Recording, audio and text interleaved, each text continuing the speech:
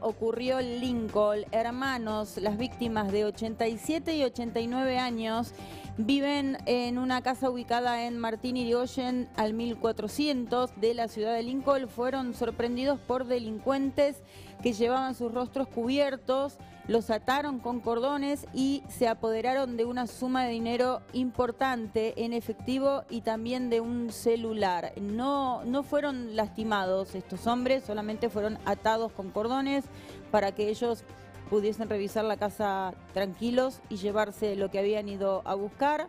Eh, pero bueno, quedaron atados. Ellos después huyeron, los dejaron atados. Cuando ambos eh, lograron desatarse, dieron aviso a los vecinos que llamaron de inmediato a la policía. Se instruye una IPP por robo agravado y privación ilegítima de la libertad con injerencia de la UFIC número 1 del Departamento Judicial de Junín.